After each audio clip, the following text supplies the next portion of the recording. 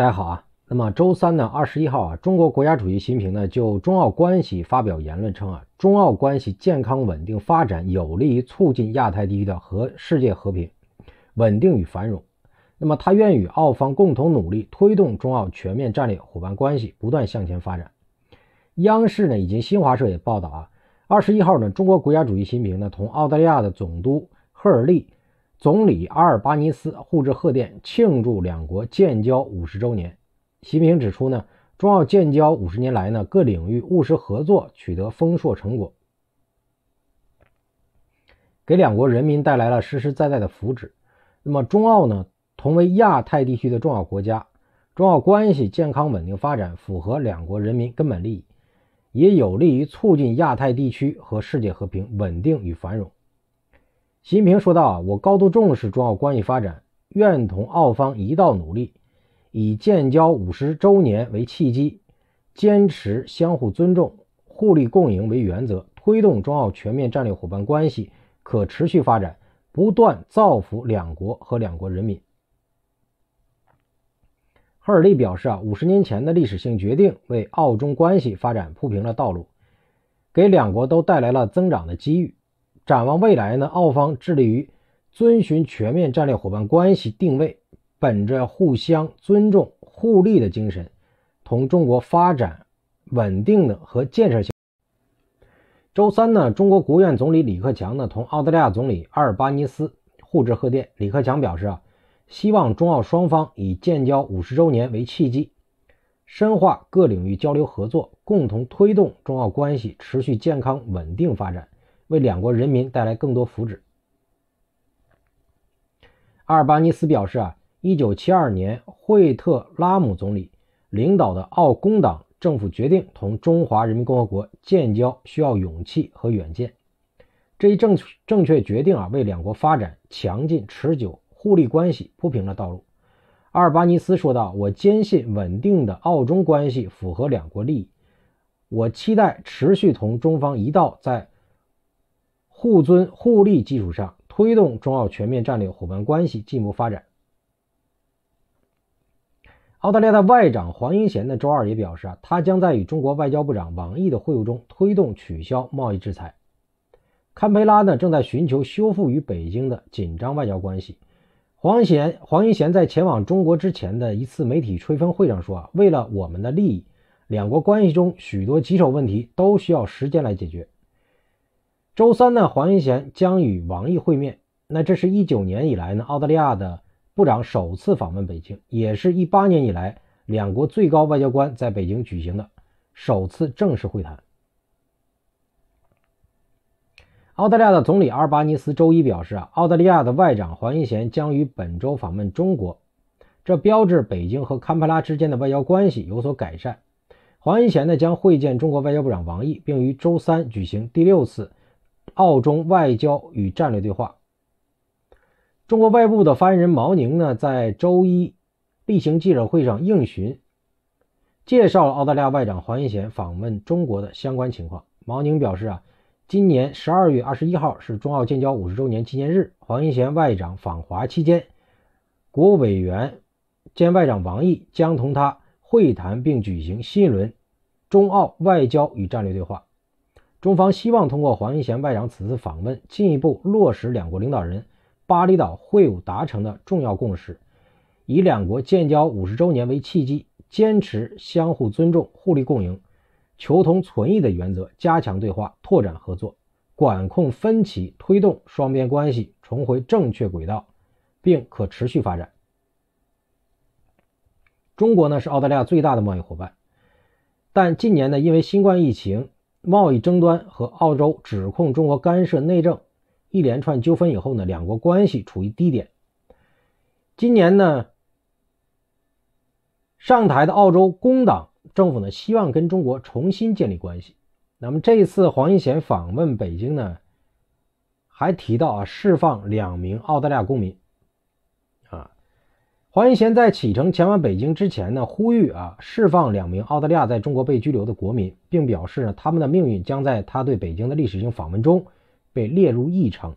澳大利亚外长表示啊，释放他们将有助于改善两国的关系。黄英贤提到的两个人呢，分别是澳洲籍的华裔记者程磊，另外呢还有作家叫杨恒军，原名叫杨军。澳大利亚记者程雷呢，大家知道啊，二零二零年八月被中国逮捕，后来指控呢向外国提供国家机密。他是前央视啊央视经济频道的记者，他于今年三月三十一号被以向外国泄露国家机密罪在北京接受秘密审讯。中国出生的澳洲籍华裔作家杨恒军啊，于一九年一月被捕，二一年五月因间谍罪。被闭门审判。黄英贤指出呢，如果这些领啊领事问题得到解决，不仅对涉及个人有好处，他认为呢这本身很重要，而且呢对双边关系也很重要。那么周二呢访问北京的黄英贤呢将是四年以来啊第一位访问中国的澳大利亚的高级外交官。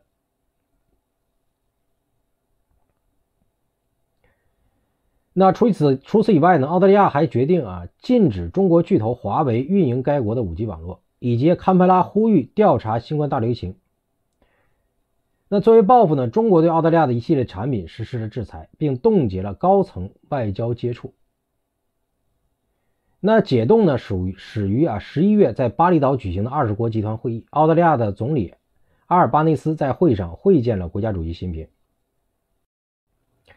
周二呢，外交部的例行记者会上，外交部发言人毛宁呢对黄英贤呼吁中方释放澳大利亚公民程磊和杨军，并称呢这将有助于解除改善双边关系的障碍。那么中方呢对此回应，希望澳方秉持相互尊重的精神，本着求同存异的态度，同中方相向而行，推动中澳全面战略伙伴关系重回健康稳定发。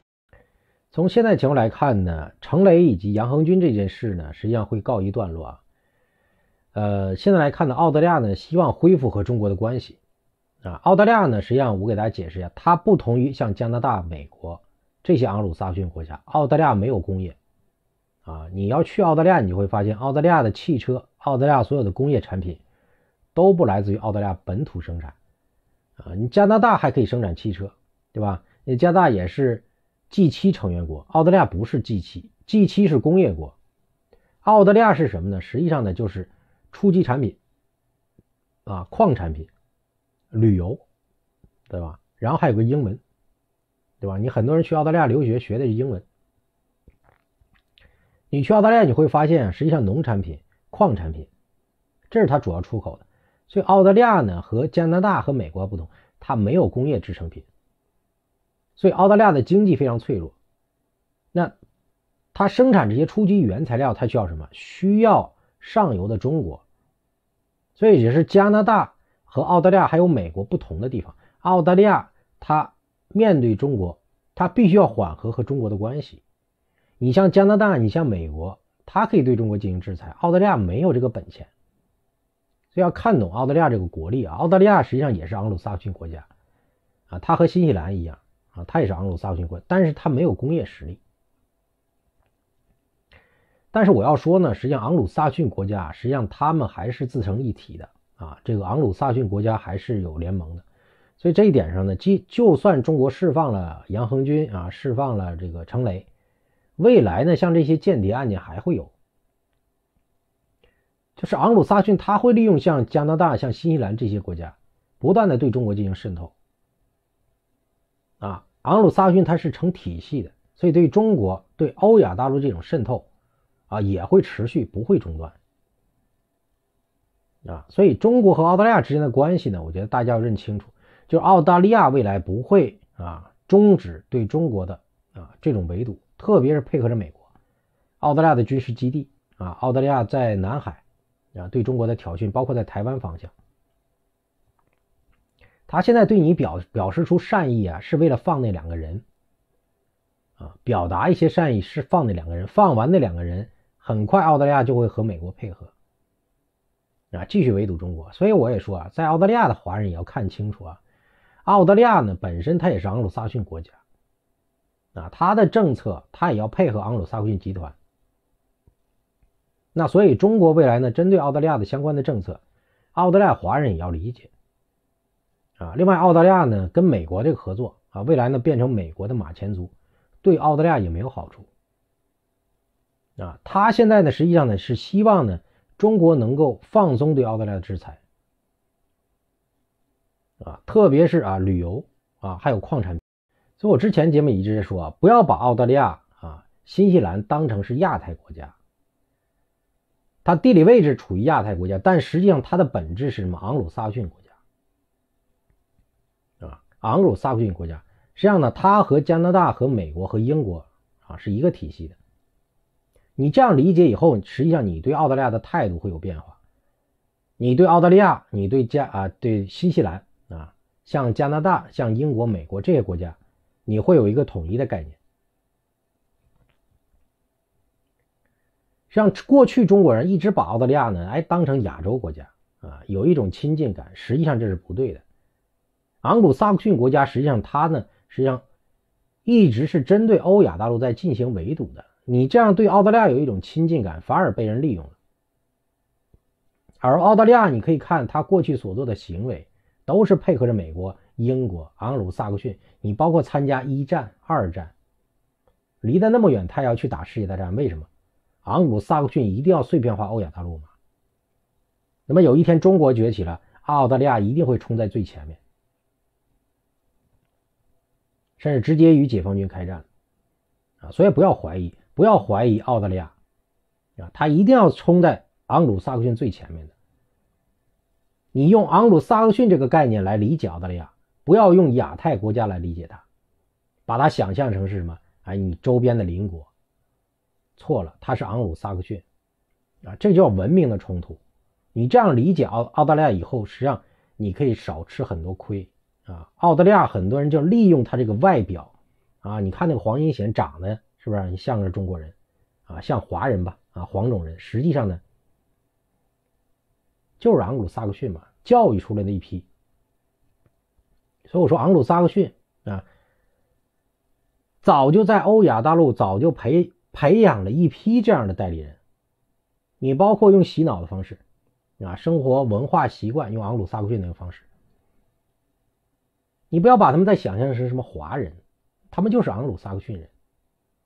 这是我一直要强调的啊。如果你还把他们当成中国人，对他们有好感，那你最后呢？你看看那个杨恒军，你再看看那个程磊。跑到你这儿窃取你的机密，最后报告给谁？昂鲁萨克逊嘛，向人家汇报。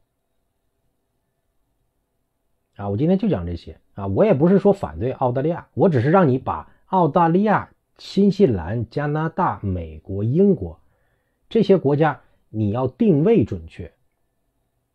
他昂鲁萨克逊，他和大陆文明，他是一定要进行对抗的。那中国现在本身要有一个新的认识，对这个世界有认识，对昂鲁萨克逊、对澳大利亚、对新西兰要有新的认识。新西兰我觉得是更危险的，人畜无害的样子，实际上他从你这窃取的很多东西，对整个昂鲁萨克逊集团更有用。所以我说啊，像澳大利亚、像新西兰这些国家，那中国一定要注意。